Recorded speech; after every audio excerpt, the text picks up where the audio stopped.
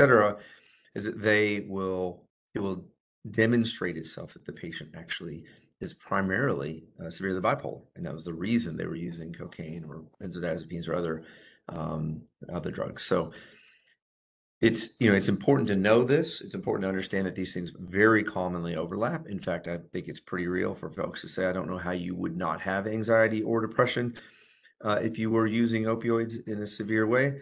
Uh, I can't imagine that there would not be any of those things uh, happening. So more commonly than not, by a lot. Most importantly, is recognizing that it'll take time to parse out what might be primary and secondary, uh, and what might be um, needing to be addressed urgently.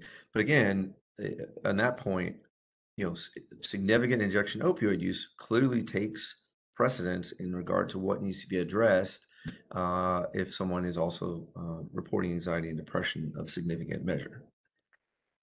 Hope that was fairly clear for folks. Uh, I don't see any questions so far other than uh, some AV issues, but I see those are being sorted. So we'll go to the next slide.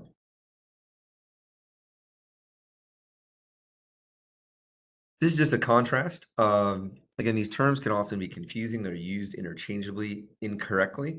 Um, but th this is a little bit of a, uh, um, you know, briefing on how the, the two really are most commonly and most appropriately used in our patient population. Next slide, please. To talk a little bit about the numbers, uh, and this is from 2018, and I imagine in the past five years, including COVID, where we've seen a significant spike in all mental health and substance diagnoses uh, for obvious reasons, as well as uh, you know under management of chronic diseases for a lot of reasons. Um, you know these numbers are are most assuredly more uh, impressive uh, than they they are on this slide, so worse than than they have been reported before.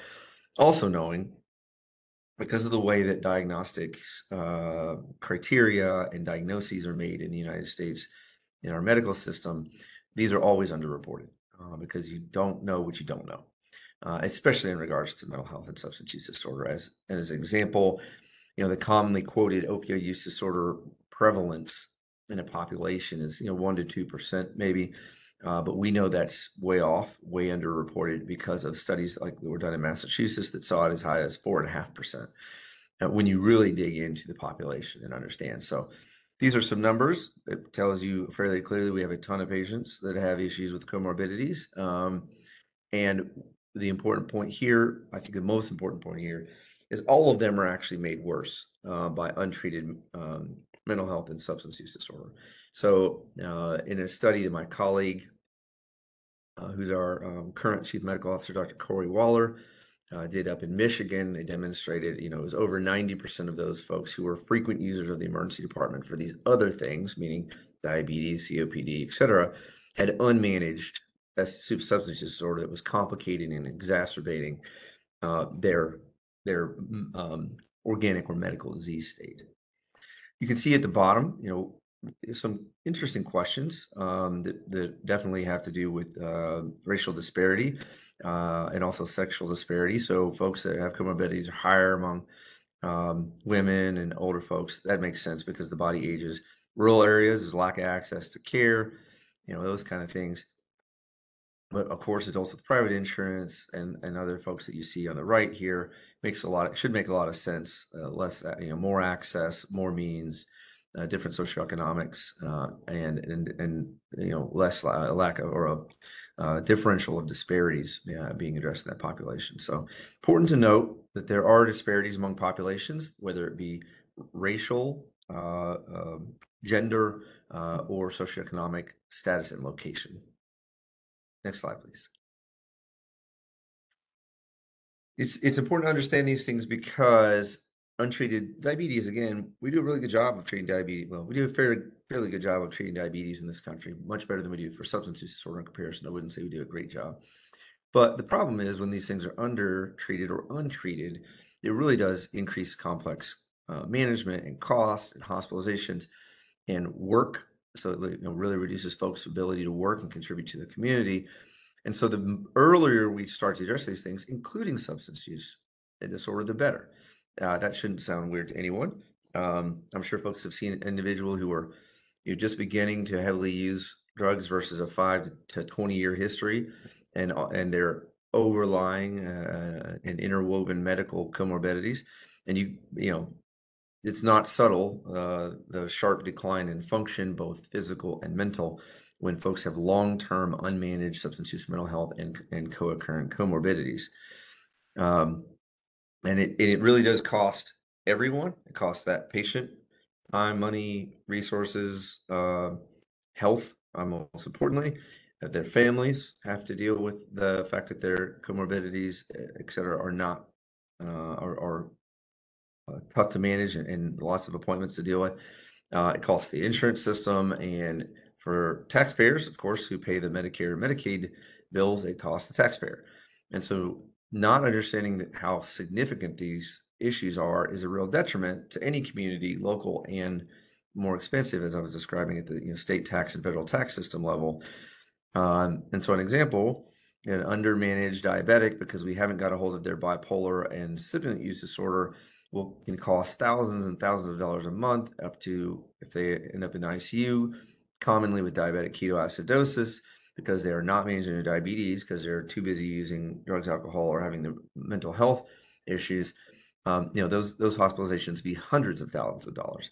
Um, so it's detrimental to both the patient, uh, the community, and the system, uh, or all of the above. Next slide, please. These are just some common physical comorbidities. We don't have to belabor uh, these things, but uh, you know, the the cardiovascular leading to heart disease uh, and associated with heart attack or myocardial infarction, stroke, all these things. These are all things that are kind of in the same chain, and they also interweave, right? So interestingly about this slide, cardiovascular and nephrological are often commonly associated for our reasons because of the blood pressure is the kind of, well, can be one of the primary problems.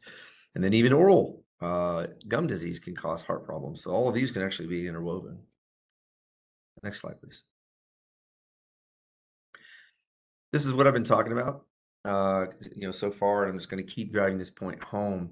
You know, we we deal with a lot of cases where patients fall out of treatment, either uh, of their own accord, volitionally, or pushed out of treatment, or required to leave treatment for legal reasons, or they go to jail.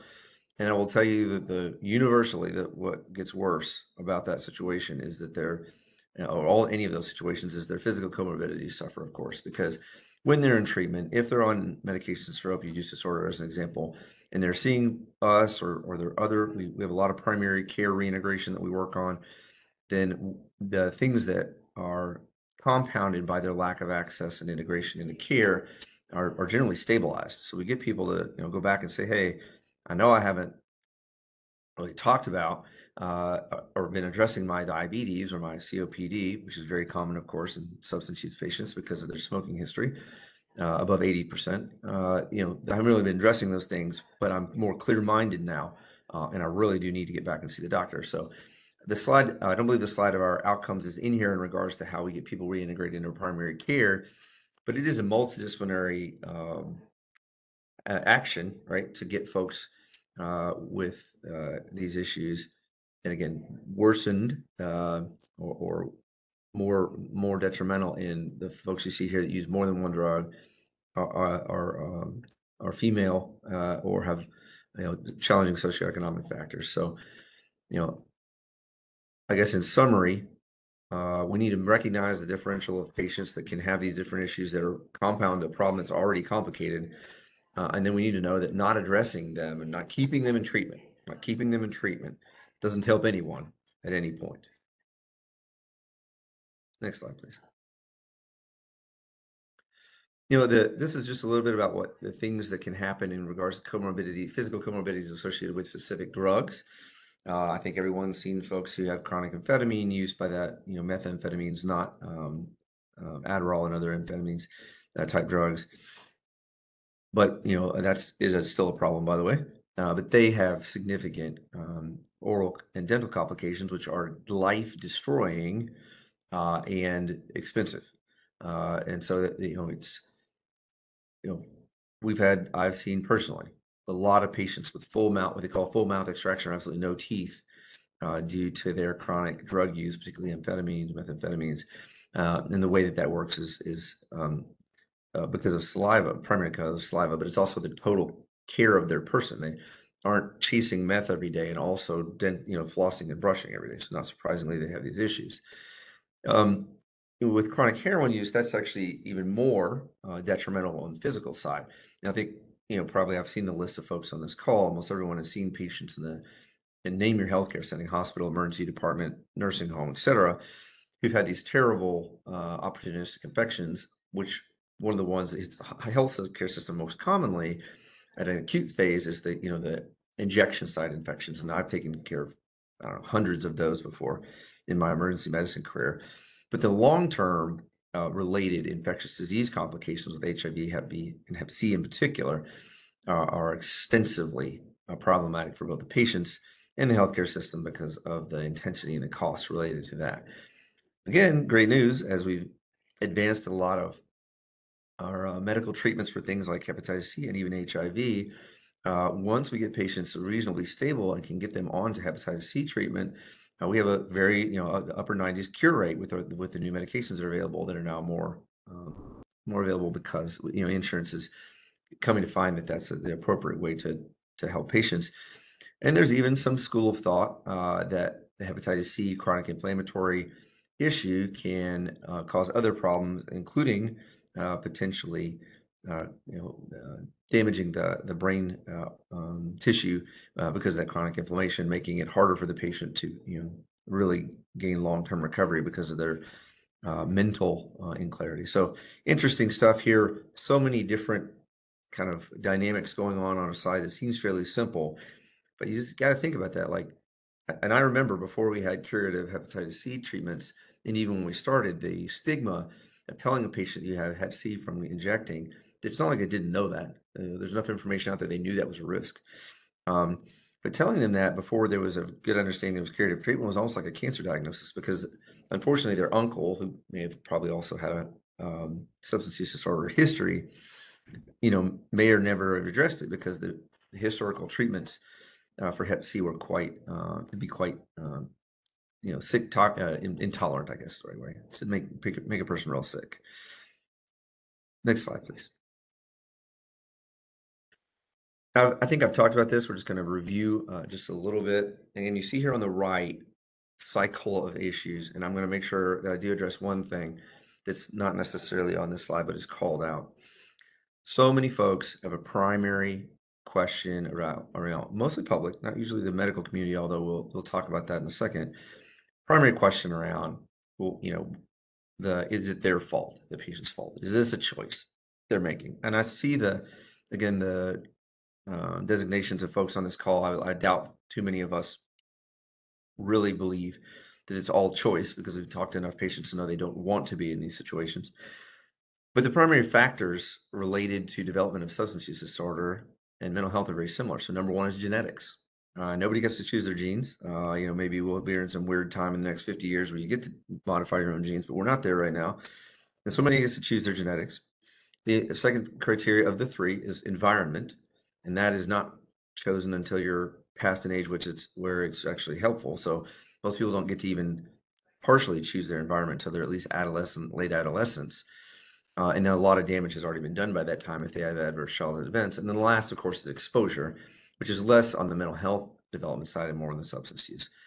But you can see how, given those three primary factors, you can see some of them in the bottom, that they would be very commonly over uh, co-occurring, right? So if someone has severe uh, PTSD, anxiety, depression, maybe um, other diagnoses from uh, adolescent abuse or, or child abuse, uh, we shouldn't be surprised that they have a significant mental health or severe mental uh, illness uh, condition, but also an overlapping substance use disorder in order to you know mask the pain of that trauma.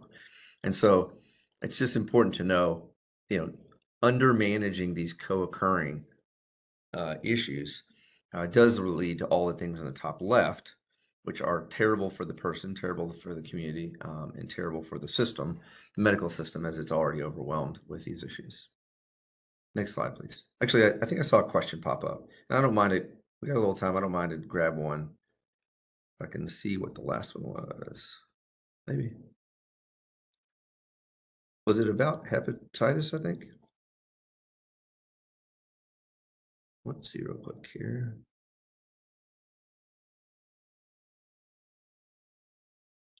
Oh yeah, questions about how can you get Hep B and Hep C. Mm, yeah, it's not the only way um, that you can get Hep B and Hep C. Uh, so those can also be transmitted through other uh, means, including bodily fluid sharing. So um, sex, it's, it's a lower prevalence than IV use. And the reason for that is when you have uh, something like a needle, often dirty, that has a core, it's just like HIV transmission, that has a core, that has tissue in it, you're injecting potentially somebody else's both body fluids and cellular contents into your IV, into your venous system directly. Uh, and so that is different and it has a higher rate of transmission of Hep B and C uh, than if through bodily fluid uh, transmission, such as sex. Um, but no, it is not only uh, it is not only IV. It's just the most prevalent and, and possible. Next slide, please.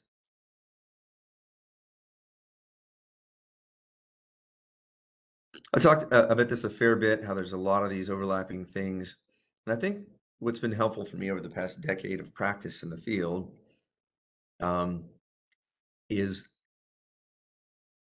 I look at this and I see patients and I talk to them. I think, you know, I, I had a pretty open mind. I wouldn't say all the way. When I was an emergency physician, primarily, uh, I got frustrated with our, our patients, this this patient population as well. But I had a pretty open mind after I learned more about it. And It's just become more and more so over time, where I look at these things and I talk about our patients, talk to our patients, and about our patients. I think, man, the, there's really not a whole lot here that someone would choose to do like that. In fact, the whole con the term, I don't use the term drug of choice, I use drug of preference because patients will often have a primary drug they're seeking, but they don't choose to use it. So I don't like that term. It's not very helpful in getting folks to understand how uh, these things actually, you know, come to, to, to, pass with all of these interacting risk factors. Um, and so I, I, you know, I just I plead for folks uh, in the field to always remember uh, and I'll tell you the story that when my wife helped to start uh, Brightview in Cincinnati in 2015, uh, she did a first chart review. She'd read through about 30 charts uh, for one of our uh, pharma partners, and they were doing we were doing a study with Zubsolv at that time, Orexo, uh, and she said after she got through those 30 charts, she said, if any of this stuff had happened to me, I would have all the issues and was such an astute observation of her being outside of the field. She's an infection infectious disease specialist. So it, very interesting, uh, to be honest with you, uh, that folks really can, you can see patients in this field and think they still uh, have a choice or make a lot. They do make choices, but it is not their choice to have all these issues. Next slide, please. You know, what's really important about these complicated patients is absolutely uh, the no wrong door principle. Uh, and that, that's because if you think about how hard it is for someone who's educated and in the field to get in to see the right person. So, like my wife had an ear problem lately, and I had to go through all kinds of folks to get her in to see an ENT. That's being in the community, being a prominent physician in the community, being, you know, understanding complex systems. And that's us. So when you think about the patients with SMI, SUD, especially co-occurring, and giving them a maze that looks like a labyrinth from uh, you know name your movie to get through that takes you know extensive time and they walk in any place and they're told i'm sorry we don't do that here. Um, that is a real problem and it should seem pretty logical from the example i just gave. And so one of the things that we've worked on for years but still have a lot of road uh, to, to, to drive on this is these collaboration between all of the organizations because brightview doesn't do everything you know? Uh, and no no um, entity, I think, does. I you know, I've worked for some of the largest health systems in the country, uh, and still there'll be gaps either in their system or gaps in their local uh, availability. And so these kind of things um, are essential. And then the understanding that the patient's disease state does cause them to, by definition, achieve less compliance with their developed treatment plan. And I would venture to say the first person to raise their hand and tell me they took every medication they were supposed to for the past 90 days, I'll give them $100 because that's not reality. And so we shouldn't be surprised that our patients um, have, uh, you know, issues navigating this complex system, which is discombobulated, particularly related to mental health, particularly related to substance use disorder, and co-occurring even more so. And so we do try to do that wrong, no wrong door. So that doesn't mean we can take care of everything in Brightview. You know, we're we are growing to to add co-occurring treatment. We're trying to grow to add more infectious disease treatment.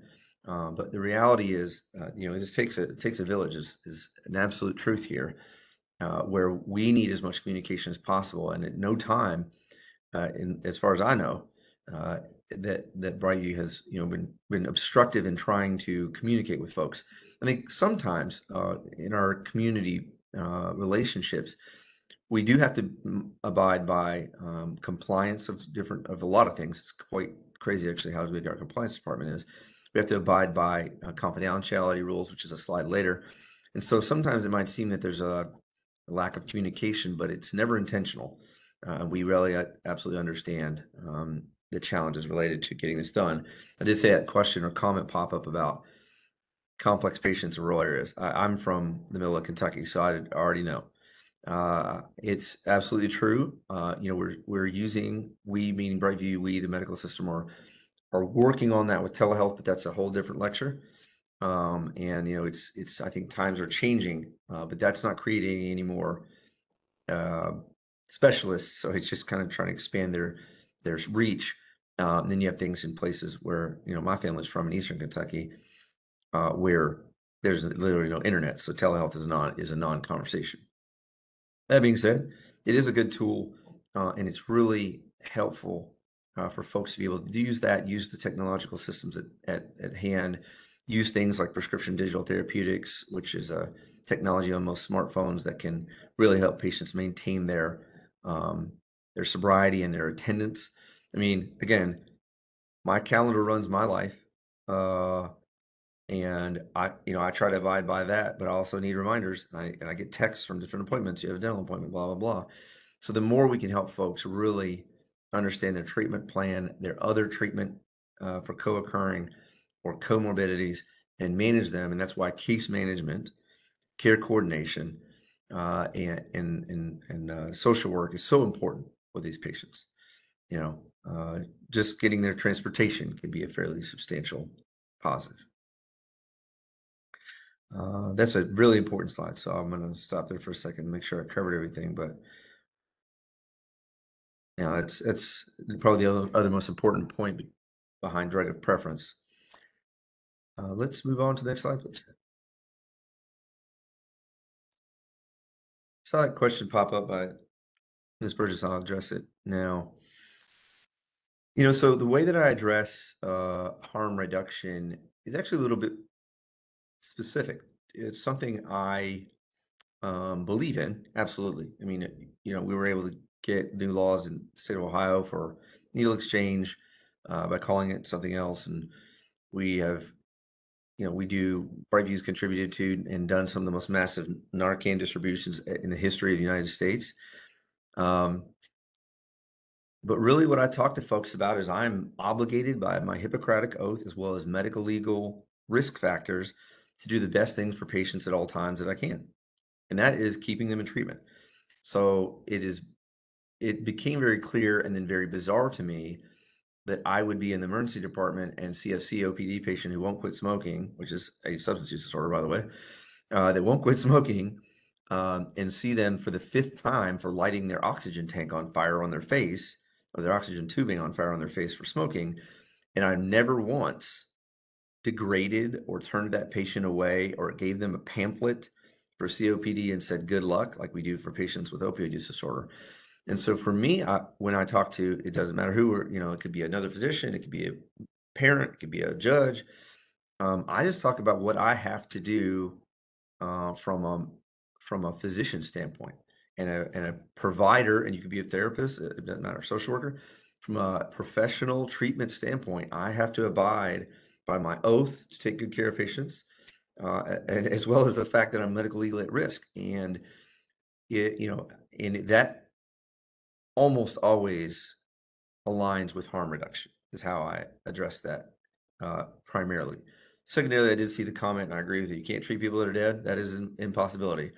You know, we when if you don't give them a chance to stay around, they can't be around uh, to receive treatment. Uh, you know, in recovery and recontribute to their family and community. So, you know, I feel very strongly about that, uh, obviously, but in in reality, for me, it's pretty black and white. Uh, and I don't say that very often. I'm, I'm a very complex thinker, so I don't often think things are binary. But I'm obligated to do the best thing for my patients, and because the evidence tells me most commonly that that's staying in treatment, and if they have specifically OUD, staying on medications for opioid use disorder, that's indefensible not to practice that way from a physician or medical provider standpoint, because the evidence is overwhelming. Decades of it, plus hundreds of thousands of humans in different studies saying so.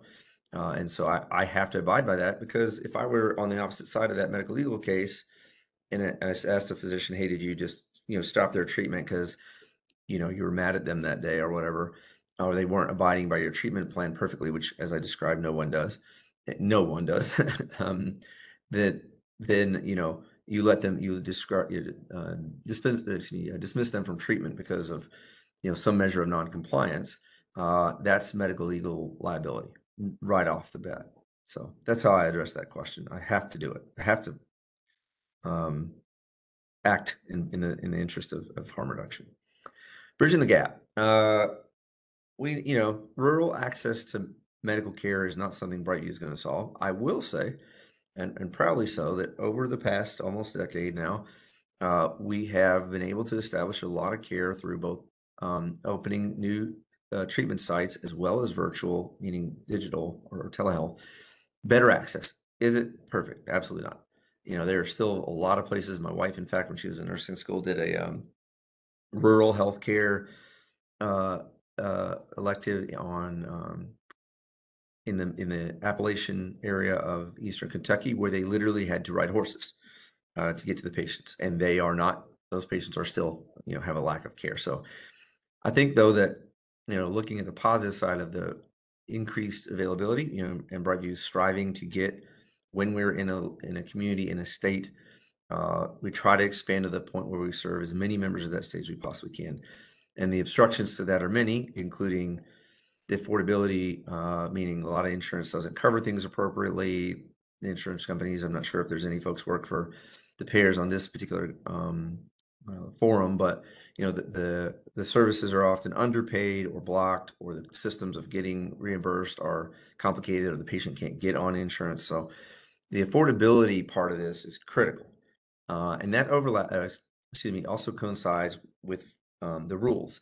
So folks, if any of the folks on this call are on the what I would describe the rulemaking side, meaning the the state or federal legislative side, or boards of medicine or boards of pharmacy, et cetera the more complicated the rules are that aren't aligned with good clinical care, and American Society of Addiction Medicine does a great job of providing tons of content for folks to understand.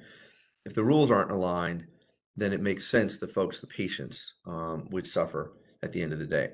So, if, as an example, uh, I tell people quite often why they're looking at expanding methadone access federally is because the rules in many states are that you have to attend a clinic 90 days, first, excuse me, six days a week, every day for the first 90 days. I'm generalizing a little bit, but that's pretty much how it works. And I've said to people, like, we got to look at that. I understand the dangers of methadone and the, and the downside and the risks, um, but there we haven't seen substantial um, uh, negatives with the expansion of methadone during the COVID relaxation of rules. Uh, and I just think to myself, it's not a whole lot of patients that can show up six days a week for 90 days. Uh, you know, I don't think I could. In fact, I know I couldn't. Um, and so, you know, understanding the reimbursement and rules uh, is a is a way to bridge the gap and advocating for what I would describe as kind of common sense uh, related to those things, uh, whether no matter what forum you might be in. There are the health screenings, obviously. You know, the more we can put uh, substance use disorder and mental health screenings into the general medical system to to to find them earlier. Uh, I often use the analogy that the way we commonly treat substance use disorder in this country is is it as if we let every diabetic have to get an amputation before we address their diabetes. That's ridiculous, but in reality, by the time a person is injecting heroin five times a day, uh, they are basically, you know, perform, you know, uh, in line with a, uh, diabetic getting ketoacidosis or amputation. So that's not the way we address things in the rest in the rest of medicine. It shouldn't be here. Next slide, please. We talked about this. Um, the reason I'm not going to give absolute specifics is because these these are complicated. You you should just generally, right, know the HIPAA rules um, if you're in any environment, and that there are HIPAA plus or rules that are more uh, specific uh, to folks that have substance use disorder to protect their identity and their medical information. And so learn the rules in your state. They are different sometimes. Uh, they're primarily federal, so HIPAA compliance and uh, CFR 42 Part 2 uh, and the modifications that have occurred over the past year, few years are generally federal, but there can also be state specifics um, in regards to um, things like the state, the uh, prescription medical uh, program or PMP or or record uh, in the states that I'm sure folks are familiar. Ohio is OARRS, Kentucky is KASPER, Indiana is InSpect, that kind of thing, so that folks are familiar that there's other data uh, associated with our patients in recovery uh, that can get out there, uh, and and folks talking, you know, being indiscriminate with sharing that data can be real problematic, and it is complicated. Uh, my colleague at ASAM, Kelly Corredor, is a phenomenal advocate for patients um, with substance use disorder. Um, lobbies constantly uh, to be careful with this. So it is a balance between folks uh, who are trying to communicate about a patient, and texting is never appropriate unless it's HIPAA compliant, uh, as an example. But you know, trying to balance the communication between ourselves, whether they be a medical professional, legal professional, et cetera.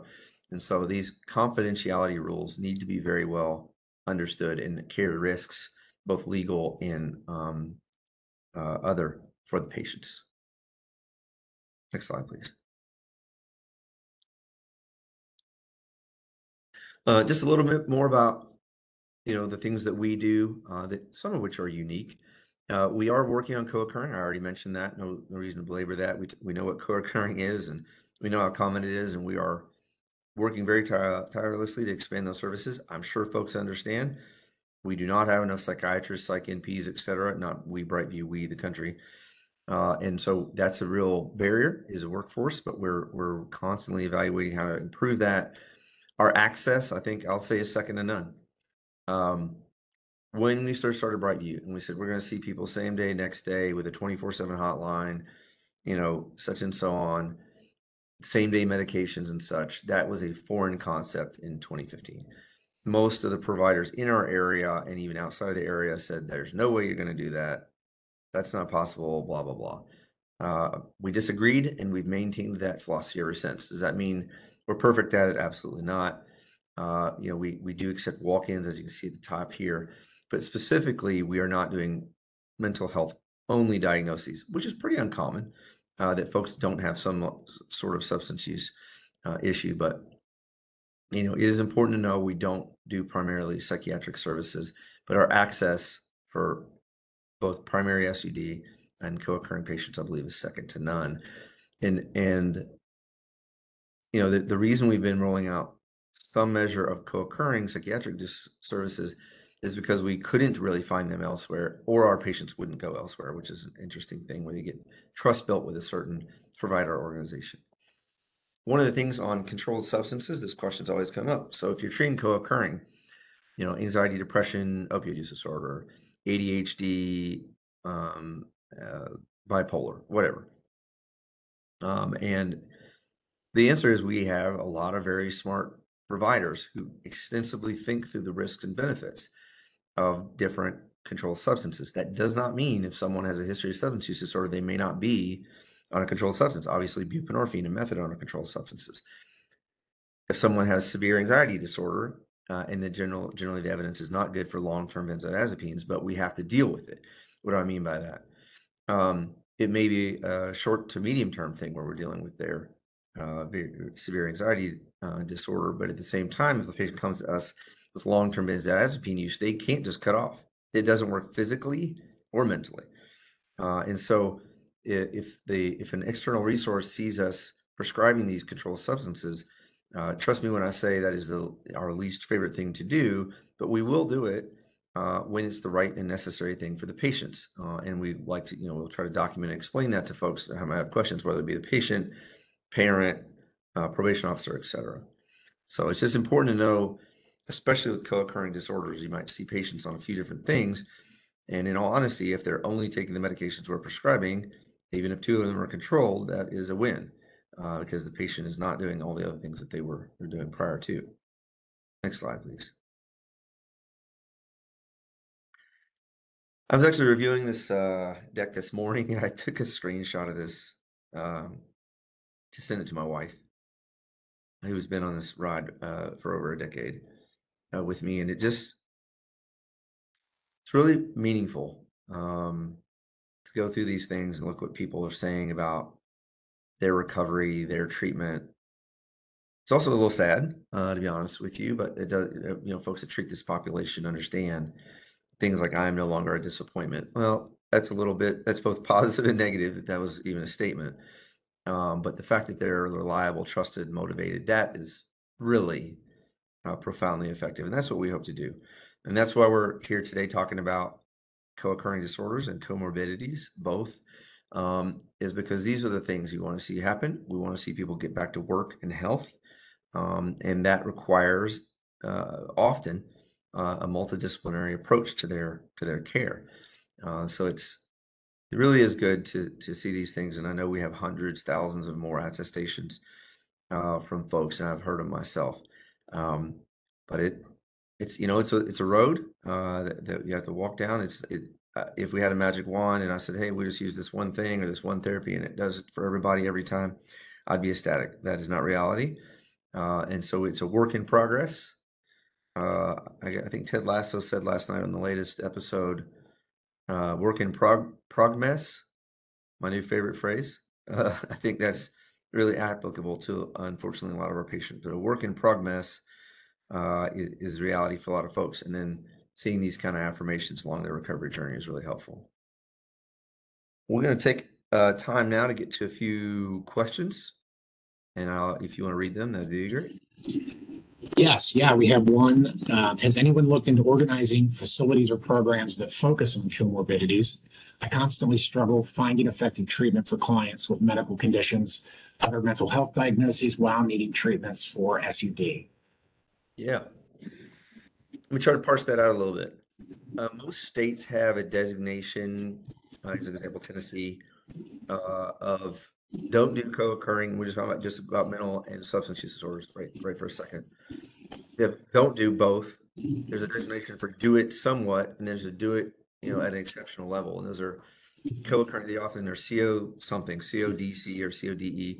And those designations are often seen in state um, certified facilities like most of Brightview's have state licenses. I think probably all of Brightview's have state licenses.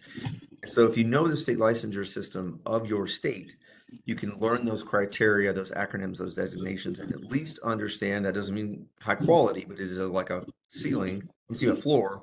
If they've gotten certified to do a certain level of care, um, that can be a benefit. On the comorbidity side, that's more of a challenge. I have not seen too many. I think, you know, some of the JCAHO certifications, et cetera, can um, designate folks that do that. I really haven't seen much. I could be ignorant to that, but I do read a lot. I don't think there's a ton out there. What we've done at Brightview, you know, part of it is because a lot of our staff are medical physicians and addiction physicians and then or psychiatrists and primary care. So those kind of things. Um, for our nurse practitioners, we're emergency nurse practitioners or family nurse practitioners, et cetera. Um, we tend to take a lot more of those comorbidities, at least in the short term on, and then try very hard to refer those folks to either primary or specialty care to manage their comorbidities. That's obviously as complicated as we've talked about today. I am unfamiliar and welcome any information from folks on a designation or a system that helps individuals find a facility that does comorbidities well, unless it's a healthcare system-based uh, provider uh, or a very developed uh, residential and an outpatient provider that that really sought to do that well. And that's a real problem. It is still a reality today that even we will send, I have a double-boarded emergency addiction specialist sending a patient to hospital for alcohol withdrawal, having done all of the work to know that patient needs to be admitted and they'll get rejected from the emergency department or from hospital admission. So more commonly than not, unfortunately, the comorbidities question is not well addressed. Any other written questions we should address? Yes, yeah, there's some, some comments as well as questions. Uh, I too struggle with explaining to community members the need for risk reduction programs. People always ask me, when do you give up? And I answer, when they're not breathing anymore. I get burnt up when uneducated people act like these clients' patients don't matter. So, uh, some empathy there. Um, and there was one from someone that actually other folks are helping answer as well.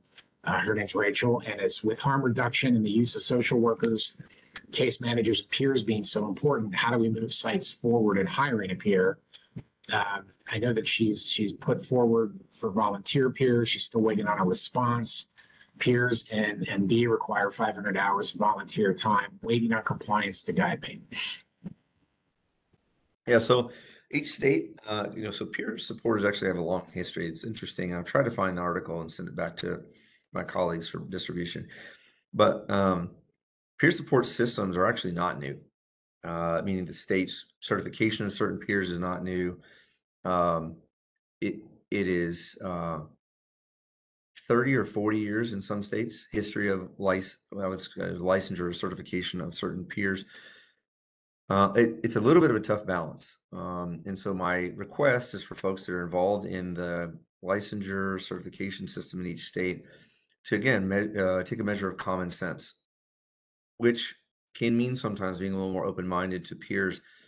Uh, having a you know as an example in some states, it's hard to be a Medicaid provider if you have a felony, and that we're not going to go all the way down that rabbit hole. I think people can understand that, and so um, working on those rules and certifications to get them more aligned across multiple states is helpful. Also, being open-minded in the peer uh, support uh, mechanisms, whether they be virtual, digital, meaning on an app, uh, or in person, and, and a combination of all, of course, is, is best case. Um, but there are some, you know, the states are always discussing this, the, the regulatory agencies I'm involved in, and it's some measure of concern because the opposite has also been true. And I, it happened right in Hamilton County where I started practicing, where someone would have probably, you know, maybe six weeks to six months of recovery, and they'd been thrust into a peer support role, sometimes somewhat um, abusively, meaning like paying them very poorly, uh, you know, and, and exchanging them for treatment, which is not appropriate and, and so oftentimes illegal. Uh, and so there was some there's some measure of concern that over the past similar period of 30 or 40 years of these systems and folks being actually certified, obviously peer support is a hundreds of year old concept, not thousands. Uh, but that you know folks would you know take advantage of the peers, and that's of course wrong. Um, but you, some providers would would put them in situations. You know, it's hard enough for those of us who don't have a history of substance use disorder to deal with the challenges of patients, uh, and and to do it very early in one's recovery it has to be managed appropriately meaning probably professionally guided by the therapist who's taking care of the patient or something like that. So great question a little complicated. I think that the answer is generally that peer support is phenomenally effective when done well with the right education. I will make one caveat i have seen a program that was actually shut down they were testing sending folks as peer supporters with limited education on medications uh, versus those who had a fairly extensive education on on the medical side of, of specifically OUD treatment. Those who were undereducated on medications uh, actually caused the patients harm. Uh, interestingly, but also terribly, because they didn't know enough to not to know what to talk about positive or negative, and they just heard some of the negatives. And if that person had gotten through recovery through A or NA, which is absolutely great, uh, they may have a particular uh, opinion on medications. Uh, and the problem with that uh, is that um, medications are complicated enough to send people to medical school for de- a decade. Uh, it really shouldn't, you know, necessarily, we should, uh, the answer from in the peer environment should be I know there's evidence, good evidence for this. You should talk to a medical provider. Um, not really giving necessarily weighted opinions on the topic unless they're really educated. I mean, we have some pharmacists and physicians who are in recovery who, who operate as peer supporters, of course. So um, it's a, you know it's a, it's a balance. Uh, I think overall, you know, almost every patient we've seen has um, has benefited from good guided peer support. Next question.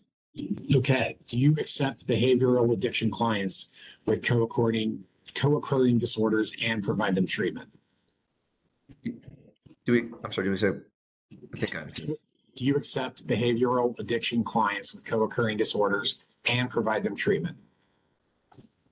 Uh, I'm not sure that I understand the term behavioral addiction correctly. I think I do, but I don't know what the example is.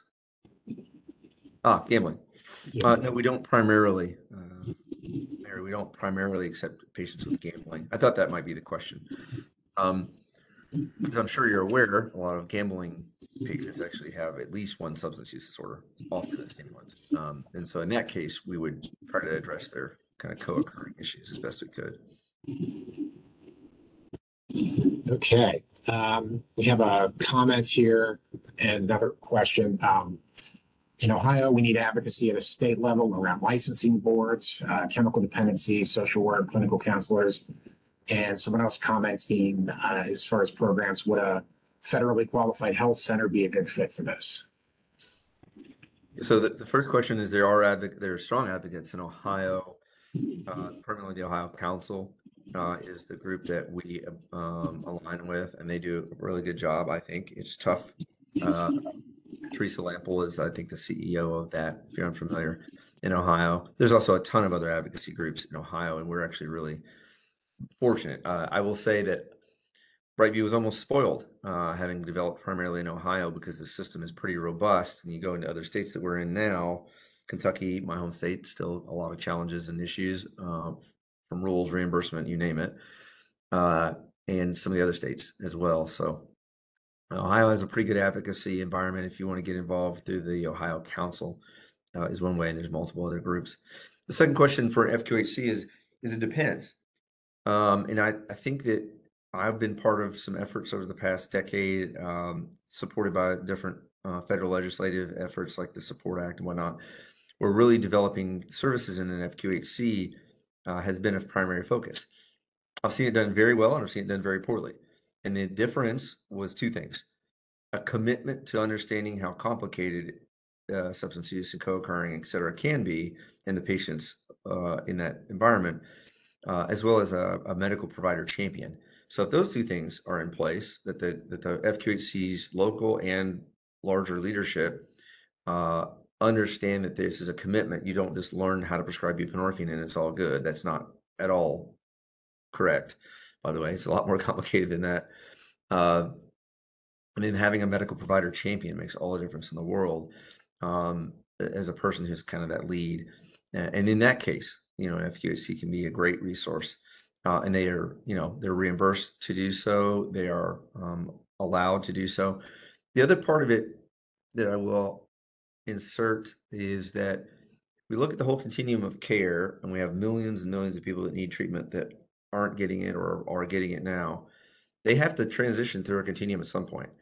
And so it is not good for a patient to stay, as an example, under the guidance of a triple boarded addiction psychiatrist medicine physician for a, you know years seeing them every month or or maybe a little less frequently later if they could be managed by a, you know a primary care physician at FQHC uh, and so that part of the continuum for those stable patients stabilized patients uh, is something that FQHCs can really fill a gap, uh, and necessarily so uh, because we just don't have enough of the high intensity providers. Uh, I'm going to go, unless there's one more important comment, I'm going to go ahead and close out so we stay on time. Um, this has been, you know, I talked about it before.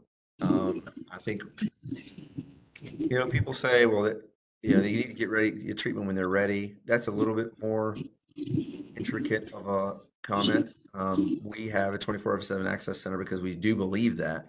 But I want to make sure folks don't think that means that they, they quote, have to be ready. I, I will finish with a fortunate story that happened last summer. I was at, I was in Louisville at the Thunder event, Thunder Louisville event. I had a colleague who knew me said, uh, yeah, you know, really sorry to tell you, we had a friend die who was a physician, but he wasn't ready to get treatment for his alcohol use disorder, which exacerbated substantially during COVID, not surprisingly. And in fact, is relative to this slide right here about compassion fatigue and you know and, and burnout. That particular physician was burnt out, was dealing with COVID, uh, and ended up drinking himself to death. And my friend said, "Well, we didn't call you or tell anybody or we didn't think he was ready. Uh, and I said, man, I really wish we weren't having this conversation uh, because it is, you know, any glimpse you have of helping somebody when you don't think they're ready. And again, most people making that assessment don't even know what readiness means or the stages of change or anything. Um, I just always advocate for folks to say that is not the right way to look at it. You don't have to have someone beating your door down saying, help me to help them. Summary. Okay, well, thank you for your time, Dr. Ryan. We thank everybody for joining us. Um, as you can see on the screen here, our next virtual forum will be on May tenth from twelve to one, and we will be talking about compassion fatigue. And if we did not get to your questions, we will follow up with you after uh, this event. And we really appreciate everyone's time. Have a great day.